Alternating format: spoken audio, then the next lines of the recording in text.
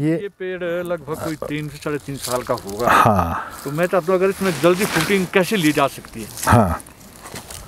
जल्दी फ्रूटिंग के लिए तो इसको आपको रमेश जी कंट्रोल करके जो है एक कॉलम टाइप में लाना पड़ेगा। एग्जैक्टली मैं वही पूछ हाँ। अगर आप इसको मल्टी लीडर में ले जाते हैं ठीक है वो मल्टी लीडर वाला हो जाएगा। अगर आप इसको कॉलम टाइप में लाते हैं जल्दी फ्रूटिंग के लिए, इसको आपको पीछे रिवर्स करना पड़ेगा ताकि जो हमारा फ्लो जो है बड में निकले और फ्रूट बड में आए वो वो कैसे आ सकता है? जैसे इसकी पुरानी प्रैक्टिस है। अगर आप देखें, यहाँ से लेकर ये जो है, सारा ही डेड वुड में चला गया ये। ठीक है? अब इसमें हम उम्मीद कर ही नहीं सकते जल्दी फ्रूटिंग की। ना ही इसमें हम जल्दी फ्रूटिंग की उम्मीद कर सकते हैं। ठीक है अगर हमने जल्दी फ्रूटिंग की उम्मीद करनी है तो हमें इसको जो है इस पे लाना पड़ेगा सेंटर पे कॉलम पे लाना पड़ेगा क्योंकि मेन सप्लाई का जो सोर्स है यो। मेन यहाँ है। यहीं से हम अब जो है प्रैक्टिस से ये एक प्रैक्टिस है रमेश जी ये कोई नहीं करता है ये मैं ही करता हूँ एक प्रैक्टिस ये कॉलम वाला जो मेरा कॉन्सेप्ट है तो इसमें क्या करेंगे हम अभी इस साल रिवर्स करने की कोशिश करेंगे हम ठीक है ना ताकि जल्दी हमारे को फ्रूट यहाँ से आए। बजाय ये जब तक मोटे होंगे बड बनाएँगे उसमें मेरे को बहुत साले लग जाएगी। ठीक है? हम मेरी नीड है फ्रूट लेने की तो मैं जितने को इस थिकनेस में जाना था मेरे पास यही थिकनेस में है ये प्लांट जो सेंटर लीडर है। तो मैं इसको रिवर्स करने की कोशिश करूँगा। इस तरह से। सीधे कट। सीधे कट। सीधे कट। अब अब हम इसको सीधे कट से वापस इसकी स्ट्रेंथ आ गई। अब जो हमने ये वेस्ट फेंका, अब ये सारा इसमें फ्रूट बड बनाना शुरू करेंगे हम। ठीक है? हेल्दी हेल्दी फ्रूट बड इसमें भी हो जाएगी स्प्राउटिंग इसमें भी। अब सारा फ्लो जो है इसमें आ जाएगा। नहीं इसकी जो लाइफ है कितनी रहेगी अगर ये लाइफ इसमें ऐसा है रमेश जी ये जो प्लांट है ये सीडलिंग है। सीडलिंग का जो हमारा प्लांट है इसकी कोई भी लाइफ इसकी ये लाइफ टाइम प्लांट है। आपने देखा होगा सौ साल से ये प्लांट चले हुए ये मरते काहे से है? गलत मैनेजमेंट से जो हमारा मिसमैनेजमेंट है। गलत टेक, टेक्निक से।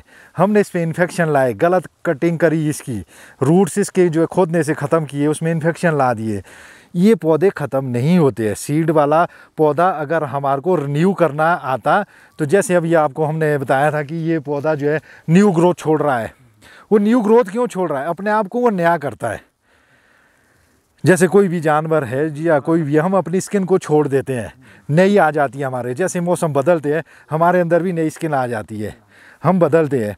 तो ऐसा ही प्लांट का भी एक सिस्टम है कि ये अपने आप में ग्रोथ करता है, नए शूट ले आता है। अगर हम उनको समझ पाएँ कि प्लांट अब नया होना चाह रहा है, अगर हमने उसके नए वही निकाल दिए, पुराने रिमूव ना किए तो वो नए पे नहीं आ पाएगा।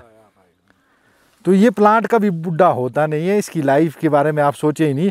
इसकी लाइफ हमारे हाथ में है। अगर हमें इसकी स्टडी आ गई, इसकी समझ आ गई कि इसको रिन्यूअल कैसे करना है तो ये बार बार रिन्यू होता जाएगा और ये आपको फ्रूट देता रहेगा। ये हमारी स्टडी के ऊपर डिपेंड करता है कि हम प्लांट की स्टडी कैसे करते, कैसे समझते प्लांट को। तो यहाँ पर डिपेंड करेगा। प्लांट बुढ़ा नहीं होता, कभी भी नहीं हो सकता है। मेरी प्रैक्टिस से जो मैं कर रहा हूँ जो मैं प्रैक्टिकली कर रहा हूँ तो मैं तभी ये प्रैक्टिकल दोबारा तो इसका हम देखेंगे कि यहाँ एक्टिवेशन क्या होती है। जिस लिए मैंने ये किया है नेक्स्ट ईयर यहाँ पे वो चीज़ होती है या नहीं होती है? फ्रूट बड आता है कि नहीं आता है? मेरी प्रैक्टिस फ्रूट बड की रहेगी कि जो मुझे फ्रूट दे ऐसी चीज़ मैंने तैयार की। कटिंग का मतलब यूँ है कि मैंने काटा क्यों है? वो समझना है कि मैंने काटा क्यों काटा है। क्यों है और क्या हो क्या होना था? क्या इसका? इसका होना क्या है? होना क्या है? हो सकता है एक साल काटने से ही ना हो दूसरी साल भी आपको करना पड़े। फिर वो आपकी प्रैक्टिस होगी वो होगा अभ्यास। जब आप रोज़ काम करेंगे समझेंगे उसकी स्टडी करेंगे तब वो चीज़ आपको समझ में खुद आ जाएगी। कोई एक थ्योरी या कोई लिख नहीं सकते हम इसकी कि लिखने से फिर वो लिखने से एक ये मिल सकती है कि हाँ प्रोनिंग हो सकती है। लिखने पे ये नहीं आ सकता कि प्रोनिंग कितने प्रकार से हो सकती है और प्रैक्टिकली कैसे वो हो सकती है। वो थ्योरी में आ सकती है प्रैक्टिकली आपको करनी ही पड़ेगी। वहाँ समझ आएगी। मतलब यदि ये दोबारा से ग्रो करेगा। ना ग्रो ही करेगा नहीं तो जो तो ये कट लगाया है ना आपने। ये तो प्लांट छोटा है। ये तेज ही जाएगा यहाँ से।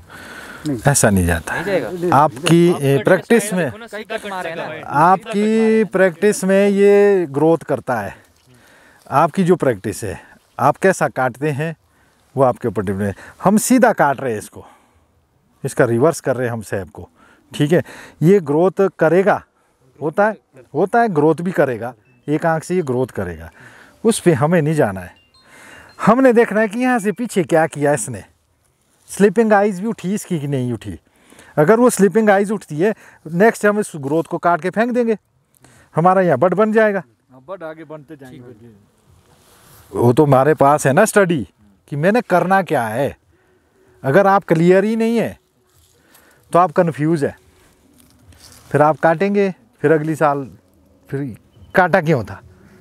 वो आप क्लियर नहीं है। काट तो दिया, आप क्लियर नहीं। आप तो बोलेंगे कि यहाँ से तो ऐसा ही बढ़ता है। आपने तो बढ़ते देखा ना? हमने तो इसको घटते भी देखा है। वो प्रैक्टिस है। जब आप सात साल जो है ना, एक प्लांट के साथ खड़े होकर काम करेंगे ना वो प्लांट आपको बता देगा सात साल की एक्टिवेशन कि अगर आप उसको नोट करेंगे कि ये एक साल में क्या हुआ था इसमें दूसरी साल क्या हुआ था तीसरी साल क्या हुआ था अगर बारीकी से आप देखेंगे तो ये आपको खुद बता देगा कि आपने जो मुझे यहाँ से काटा था मुझे ऐसे हो गया है। तो ये है प्लांट के साथ का रिलेशन रिलेशन तब बनेगा जब आप सीरियस हो करके जुड़ेंगे फ़ार्मिंग में। इससे रिलेशन रखेंगे। ये आपको समझेंगे, आप इसको समझेंगे। ठीक है ना? हर काम सक्सेस में कब जाता है? जब हम डीपली उसके साथ एक रिलेशन जोड़ देते हैं, उस वर्क के साथ प्रोफेशन के साथ। जब हम उस रिलेशन से उसके साथ जाते हैं तो वो वर्क ही हमें समझा लेता है कि आपको जाना किधर है। क्योंकि इसमें भी सेंस है। हमारे में भी सेंस है। अगर दोनों की सेंस नहीं मिलती है तो आपकी दिशा ये बदल देगा, ये अपनी दिशा में चलेगा। अगर दोनों की सेंस कंप्रोमाइजिंग हो जाती है तो एक अच्छा कॉलिब्रेशन बनता है, एक अच्छा वो संवाद बनता है उनका, एक अच्छा रिलेशन बनता है उनका। तो ये हर चीज़ को आपको ऊपर की नज़र से नहीं देखना है, एक अंदर की नज़र से देखना है कि अगर आप फ़ार्मिंग में गए हैं तो एक फार्मर के करेक्टर से जाए। एक फार्मर है आप। जब आप किसान के रूप में जाएँगे खेत में तो वो खेत ही आपको जो है बताएगा कि अब आया मेरा मालिक। रिलेशन है ना? वो मालिक दूसरे को नहीं मानेगा आपको मानेगा कि अब मेरा मालिक आया। एक वो खुश होगा। भ्रम और भी है प्रेम ये तौलिया क्या होता? तौलिया करना किस टाइप से सा क्या हर साल होना चाहिए या एवरी थ्री देखो रमेश जी तौलिए वाला जो कॉन्सेप्ट था जो तो ट्रेडिशनल फ़ार्मिंग थी हमारी तो हाँ। पच्चीस पच्चीस फुट में उसमें क्या होता था कि ज़मीन को प्लांट को जो है खोदना ही पड़ता था क्योंकि खरपतवार जो है पच्चीस फुट के एरिए में बड़ा भारी फैल जाता था। फिर हमने जो है एक जगह में जहाँ खाद गोबर वगैरह मैनेज करना होता था प्लांट के लिए वो एक तौलिए वाला कॉन्सेप्ट चला था। तब हम उसमें तौलिया बनाते थे। जो आज की डेट में मौसम को बदलते हुए जो मैंने अपनी प्रैक्टिस देखी कि तौलिया करने से हमें क्या बेनिफिट हो रहा है या क्या नुकसान हो रहा है इसका तो जो मेरी प्रैक्टिस है, मैंने पूरी ज़मीन को ही पहले स्केपिंग कर देता भी मैं लोगों को बोलता हूँ कि आप लैंड को स्केप कर दो। पूरी ज़मीन को एक बारी स्केपिंग कर दो, उसका ढलान कर दो, उसको बैलेंस कर दो, उसको पूरी ज़मीन को ही टुकड़े को जो है आपने तौलिया समझ लो। क्योंकि आपकी एक तौलिया भी आपका है, वो पूरा टुकड़ा भी आपका है। अगर आपने वो पूरा टुकड़ा ही मैनेज कर दिया, उसका मॉइस्चर लेवल जो है मेंटेन कर दिया तो वो पूरी ज़मीन का एक तौलिया बन जाता है। और फिर उसमें अगर अल्ट्रा हाई डेंसिटी प्लांटेशन करते हैं तो आपके तौलिए करने की ज़रूरत ही नहीं रहती है, क्योंकि उसमें जड़ों की जाले ही बन जाएँगे। वो जड़ें ही आपको खुद खोदती रहेगी अंदर। क्योंकि अपने सर्वाइवल के लिए जो घनी प्लांटेशन होती है, ज़मीन को वो खोदती रहेगी। अपना सर्वाइव होना है उसने। तो आपको तौलिया करने की कोई ज़रूरत नहीं पड़ती है, क्योंकि पूरी ज़मीन को ही आपने एक तौलिया बना दिया है। उसके मॉइस्चर को भी, उसके फ़ीड को भी आप बराबर दे रहे हैं। तो ये पुरानी प्रैक्टिस है जी। तौलिए से हमारे को उल्टा नुकसान ये होता है कि तौलिया करते हुए हमें ये नहीं ध्यान होता कि पेड़ की जड़ कितनी गहरी है और कितनी ऊपर है। जो हम लेबर से तौलिया कराते हैं या कुछ लोग मशीन से करते हैं, वो जड़ों में कट करेंगे, आप डैमेज करेंगे। जैसे ही हमारे जड़ों में कट लगते हैं, ज़मीन के नीचे, उसका हमें कोई ज्ञान नहीं होता है। जब वो कट लग जाते हैं, कट से क्या होता है, ज़मीन के अंदर से इन्फेक्शन जो है, जो भी फंगले होती है इन्फेक्शन होता है, वो जड़ों में चले जाता है और जड़ सड़न का रूप धारण कर लेता है और धीरे धीरे वो जो है हमारे पौधे को ख़त्म कर लेता है। तो वो गलत प्रैक्टिस से हुआ। दूसरा कट हम देते हैं प्रोनिंग में।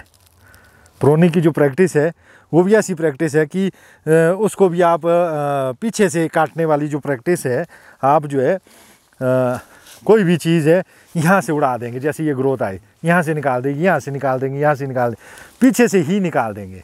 उसमें क्या स्किन में आप घाव ही घाव कर देंगे। जख्म दे देंगे। जितने आपने प्लांट को जख्म दिए उतना प्लांट आपका डैमेज हो गया। डैमेज हो गया उसको चोटें लग गई छोटे सा उदाहरण है, अगर हमारे को कोई दस चोट लगाए, फिर उसके बाद बोले कि काम करो तो हम काम करने के लायक नहीं होंगे, क्योंकि हम डैमेज हुए हुए हैं। वैसे ही प्लांट के साथ होता है। इसमें हम सारी सर्दी भर कोई सौ चोट दे देते, सौ जख्म दे देते ऊपर से प्रोनिंग के। फिर हम वहाँ पेस्ट लगाते हैं। अगली साल बोलते हैं कि तू हमारे को फ्रूट दे। अब सौ जख्म में क्या होता है, जैसे जख्म लगता है हमारे शरीर में तो हमारा ब्लड जो है एकदम से रिकवरी के लिए आ जाता है वहाँ पे, जख्म को हील करने के लिए। दूसरी जगह लगेगा आपका जख्म, वहीं ब्लड सप्लाई चली जाएगी। वैसा ही प्लांट का होता है, जहाँ ही जख्म लगेगा, वहीं सेब जो है पहुँच जाएगा रिकवरी के लिए। जहाँ ही जख्म लगेंगे, वहीं सेब आपका रिकवरी के लिए लगेगा। जो फ्लो आपका सेब बड में जा रहा था फ्रूट में जा रहा था, वो रिवर्स हो करके अपने जख्म पूरे करने के लिए लग गया। तो उन प्लांटों में फ्रूट भी लगने हैं, कमज़ोर। ठीक है? क्वालिटी वाले नहीं होंगे, क्योंकि आपने पौधे को डैमेज ही कर दिया है। तो इसलिए प्रोनिंग का जो मेथड है, आपको यहाँ से कुछ भी नहीं उठाना है। यहाँ से, पीछे से। जड़ से कुछ भी नहीं निकाला है, सिर्फ़ आपको ट्रिम करना है ये। ताकि बैक आँखें जो है, इसकी फटे स्प्राउट होए और बड बने। और ये जो नए पे काटा हमने, सीधा कट। कट होगा सीधा। इससे क्या होगा? न्यू आँखें आएगी। यहाँ पे जो स्लिपिंग आइज़ है, वो बड के रूप में आ जाएगी। इस एरिया में नए बड तैयार हो जाएँगे। ये पुराने बड है आपके। इसको भी रिन्यू करना है आपने। नया करना है। अब इससे क्रॉप लेनी है आपने। तो हर प्लांट की प्रोनिंग अलग तरीके से होगी। प्लांट को समझना पड़ेगा। प्लांट के स्ट्रक्चर को समझना पड़ेगा। हर उम्र में और कॉन्सेप्ट की भी अलग प्रोनिंग होगी। जो मेरा कॉन्सेप्ट है उसकी प्रोनिंग अलग होगी। क्योंकि वो सिंगल कॉलम टाइप है उसकी प्रोनिंग ही अलग है। वो तो अभी मेरे हिसाब से एक परसेंट भी नहीं है और चढ़ वो वाली प्रोनिंग अभी तो ट्रेडिशनल प्रोनिंग है। अगर इसी कोई फार्मर समझ ले अपना बेसिक बातें समझ ले इसकी तो आप ना क्रॉप से लॉस लेंगे ना प्लांट से लॉस लेंगे ना आपके प्लांट मरेंगे ना आपकी क्रॉप मरेगी। तो ये आ, मैंने ट्रेडिशनल फ़ार्मिंग की जो प्रोनिंग के कुछ एक टिप्स बताए हैं तो वो मेरे ख्याल से रिक्वायर्ड है। इस अभी जो प्रोनिंग का जो सीज़न चल रहा है जिनको प्रोनिंग करनी है अगर वो मेरी वीडियो को बार बार सुन करके भी करते रहेंगे तो भी उनको समझ में आ जाएगा कि मैं बता क्या रहा हूँ बताने की क्या कोशिश कर रहा हूँ। प्रोनिंग का सही टाइम क्या रहेगा? जैसे पत्ते इसमें कुछ भी है। नहीं अब तो इसमें तो ये मान के हम चलते हैं कि इसमें तो अठानवे परसेंट पत्ता ख़त्म है। तो कर सकते हैं। अब इसमें प्रोनिंग शुरू कर सकते हैं आप। मैंने देखी थी पिछले साल जैसे हमने कोई भी कट मारा था ना तो फिर डेड वुड सी बन गई थी यहाँ पे इस तरीके की। हमने दिसंबर में पिछली बार प्रोनिंग करी। हाँ। इस तरीके की डेड वुड बन गई कई जगह पे ना। हाँ ये तो जो अर्ली कट लगता है ना एक होता है देखो ये वाला आपने क्वेश्चन ठीक किया कि अर्ली हाँ इसमें क्या होता है जब आप जल्दी करोगे अक्टूबर या नवंबर में नवंबर या दिसंबर में ठीक है? तो उसमें क्या होगा कि जो ये घाव है, जहाँ से भी आपने काटा है तो ये रिकवर नहीं करता है। सह फ्लो नहीं होता है। सह फ्लो नहीं होता है तो यहाँ पे ये डेड वुड हो जाती है। उससे क्या होता है थोड़ा सा सड़न शुरू हो जाती है यहाँ पे, क्योंकि स्किन रिकवरी नहीं लेती है। तो यहाँ से कैंकर आने का खतरा रहता है, जहाँ पे इस तरह के वो टेम्परेचर वाले एरिया होते हैं। अगर हम ये जो सह फ्लो होता है, जब अर्थ ग्रो करती है 22 दिसंबर के बाद। 22 दिसंबर के बाद अर्थ जो है ग्रो करनी शुरू कर जाती है। टेम्परेचर उठना शुरू हो जाता है। एक्टिव हो जाना अर्थ एक्टिव शुरू हो होनी शुरू हो जाती है। क्योंकि तब जो है आप ज़मीन में कोई भी चीज़ है वो ऊपर को सरवाइव करेगी। रस चढ़ना शुरू हो जाएगा 22 दिसंबर के बाद। तो आप स्टार्ट कर सकते हैं। जो चढ़े हुए रस में क्या होगा आपका जो कट होगा वो रिकवरी डेड वुड नहीं बनेगा। वहाँ पे एक रिंग बन जाएगा क्लस्टर आ जाएगा वहाँ से अंदर से से फ्लो आएगा उसको रिकवर कर देगा। तो वैसे दिसंबर 20 और 22 के बाद ही प्रोनिंग को तो आपके प्लांट भी ग्रो में आएँगे जो भी जख्म होगा वो रिकवर हो जाएगा। नहीं अब इसको क्या करें कि जो ये इससे ज़्यादा ना बढ़े किस क्या तरीका अपनाएँ क्या इसको पीछे से काटे या नहीं नहीं नहीं नहीं नहीं, नहीं। तो ये ये तो है अब ये ये नहीं बढ़ेगा अब। इसने हुआ क्या कि रिकवरी लेनी शुरू कर दी है। ये देखो दूसरे साल। अच्छा। करी है ठीक है ना? ये देखो करी है रिकवरी ठीक है ना? ये रिकवर हो जाएगा। ये कोई ऐसा मेजर कट नहीं है ठीक है ना? ये बाहर का कट है। ये रिकवर हो जाएगा। इसको पीछे से काटने की कोई ज़रूरत नहीं कि आप पीछे से और फिर कट करेंगे इसको। ये खुद रिकवर हो जाएगा। ये ना देखो जरा ये क्या नहीं बोल- पूरा पीछे से करके पीछे से करके। यहीं से। स्टार्टिंग क्योंकि ठीक है इसमें। एक मिनट। हाँ जैसे ये ये वाला, ये वाली ब्रांच है, इसमें भी हम ऑफ़ ईयर और ऑन ईयर को ही अपनाएँगे, ठीक है? ये ये प्रैक्टिस ठीक है कि हमारे को यहाँ पे फ्रूट लेना है, ठीक है? हमारे को इस पे फ्रूट लेना था, ठीक है ना? हमने ये काटा था, अब ये ये हम बचा रहे हैं, क्योंकि नए एक्टिवेशन कर रहे हैं हम इस प्लांट में, पुराने ब्रांचेस में नए बड बनाने की कोशिश हो रही है इसमें क्योंकि ये जो प्रैक्टिस है आपकी ताकि इनमें जो है आपका फ्रूट बड मटेरियल आ जाए फ्रूट मटेरियल। अगर हम इसको देखते हैं तो इसको भी हमें चेक करना है। यहाँ तक तो ये वेस्ट। डेड वुड चली गई। क्यों नहीं हम ऑन ईयर में है तो हम ऑन ईयर में यहीं आएँगे। स्ट्रेंथ यहीं आ जाएगी इसकी। इसकी तो ऑटोमेटिकली बनी हुई है। ये भी आपका यहाँ पे स्ट्रेंथ पे आ जाएगा। ठीक है? यही इधर को भी आप देखें। यहाँ से आप, इसी को ही प्रोनिंग का मतलब होता है कि आपको छंटाई कैसे करनी है। अब ये है डेड वुड में ही जा रहा है पूरा। हम चाहते हैं कि इसमें बड बनने अब ये वाला है। जैसे इसकी शेप बनी हुई है, जैसा इसका स्ट्रक्चर बना हुआ है, उसी के आधार पे हमें प्रोनिंग करनी पड़ेगी, इसमें समझना पड़ेगा। अब समझने के लिए कि यहाँ से यहाँ तक तो इसमें फ्रूट मटेरियल है। ठीक है, ये वाला जो है फालतू में वेस्ट मटेरियल बन रहा है ये। यहाँ से वहाँ तक। अगर फ्रूट लग भी जाते हैं, इस साल इसमें लगे हुए थे, ठीक है, वो यूँ लटक करके नीचे चले जाएँगे। क्यों ना हमारे फ्रूट इन पे आए इस साल। यहाँ पे पीछे। तो आपको कैसे इसमें और ये रिन्यू भी हो कोशिश ऐसी होगी हमारी। अब इसको आप नहीं समझे समझ गए होंगे कि ये कट क्यों लगाए यहाँ पे और कहाँ पे लगाए। हाँ क्लस्टर पे लगाए ठीक है ना? यहाँ पे क्या करेगा ये नई एक्टिवेशन करेगा ठीक है? यहीं से ये नई एक्टिवेशन करेगा और ये यहाँ नया हमने ये वेस्ट फेंक दिया। और ये रिवर्स करके हेल्दी फ्रूट देना शुरू कर देगा इधर। आगे एक्टिवेशन कर एक्टिवेशन उधर करेगा ये। ठीक है? तो ये चीज़ें समझनी स्ट्रक्चर को समझना पड़ेगा। अब ये है हमारा यहाँ पे। ठीक है? इसको हम जो है यहाँ बना सकते हैं। चलो ये वाला हम बना सकते हैं। ये भी डेड वुड बन जाएगी यहाँ अगर हम रिंग काटते हैं। ठीक है ना? यहाँ से यहाँ तक डेड वुड ही है ये। अब रिंग फिर एक दो आँख फाड़ेगा। ठीक है? क्यों ना हम यहीं काट दें इसको? ये अगर ग्रोथ में तो नहीं जाएगा। नहीं। ये तो बड पे आ गया ना। ये तो फ्रूट देगा ऐसा तो नहीं होता कि जैसे ये बिल्कुल नया बट लग रहा है तो ये कहीं फ्रूट ना टिका इस पे तो ग्रोथ पे चला जाएगा। आपको इस पे नहीं जाना है अभी। हमारे को हो सकता है फ्रूट आए इसमें ना आए। नेक्स्ट ईयर के लिए जो ये बेस है ये इतना सॉलिड बड मटेरियल बनेगा यहाँ पे यहाँ पे इसका एक गुच्छे बन जाएँगे ऊपर को फ्रूट के, ठीक है? क्योंकि फ्रूट क्रॉप ईयर है इस साल। आपको अच्छा हुआ है, मौका है प्लांट के सफ़ाई करने का प्लांट के अंदर क्या करने का। ये है ऑफ़ ईयर ऑन ईयर की ऑफ़ ईयर की।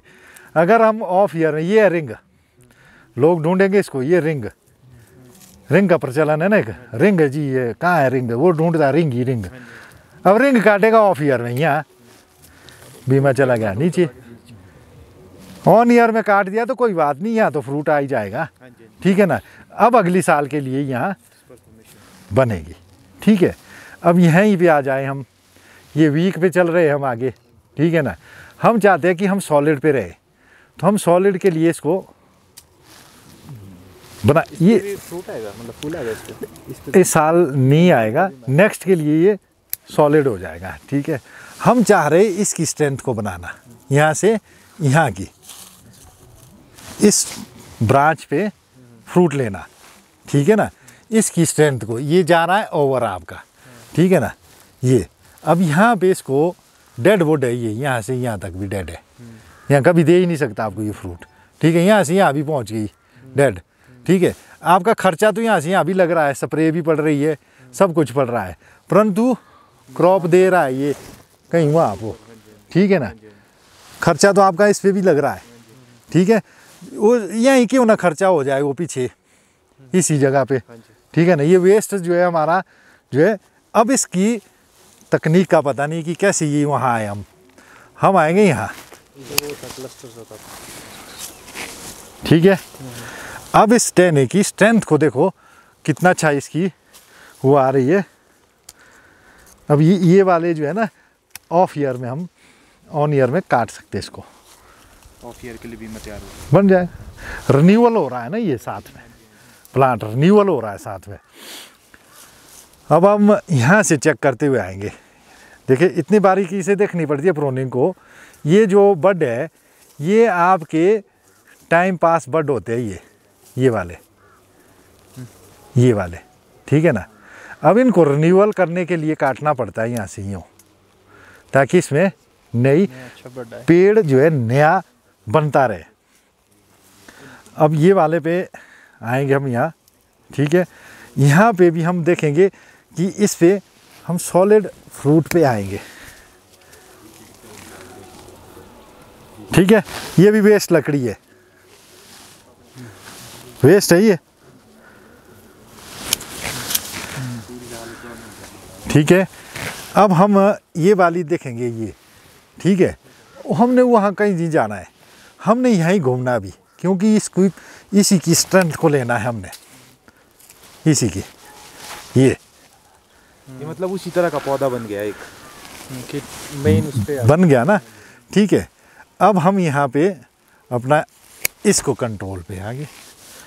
अब बताएँ इसमें क्या काटा क्या नहीं काटा और क्या किया? नहीं सर अगर मानो आगे से ग्रोथ लेनी है तब आगे से हमने जाना ही नहीं है ना अब। कहाँ जाना है अब? यहाँ तक बते रहे नहीं है। फिर वो नहीं है ऊपर इसमें। हम यहाँ से भी चले हुए और इसमें। क्या आगे कहाँ जाएँगे अब? जाना कहाँ है यहाँ से? इसका एंड करो इसको यहाँ। ठीक है ना? यहाँ से करो और प्लांटेशन ठीक है ना? मेन ठीक है ना? कंट्रोल ग्रोथ लेनी है ना? यहाँ से जो आनी है अभी। हाँ यहाँ से निकलने हैं वो। रिन्यू हाँ स्ट्रेंथ में भी आया प्लांट ठीक है? और कोई मेरे हिसाब से अगर ऐसी प्रोनिंग करेंगे तो मैं नहीं समझता हूँ कि क्वालिटी फ्रूट क्वालिटी फ्रूट नहीं आएगा या क्वांटिटी में नहीं आएगा। वेस्ट लकड़ियाँ जो है ना इसको पाल रहे थे हम फालतू में।